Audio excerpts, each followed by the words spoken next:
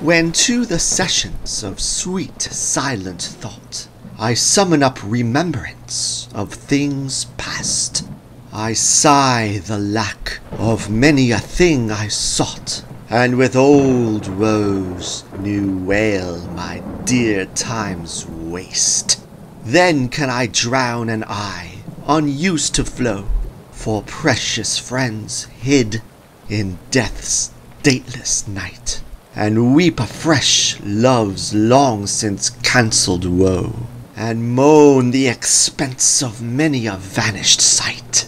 Then can I grieve at grievances foregone, and heavily from woe to woe tell o'er the sad account of fore bemoaned moan, which I new pay as if not paid before.